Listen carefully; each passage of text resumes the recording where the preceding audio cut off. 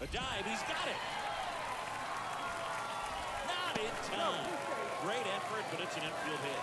You've got to love his hustle down the line to beat the flip to the bat. I mean, there's a lot going on between a first baseman and the pitcher during these plays, and he just kept his head down and beat it out.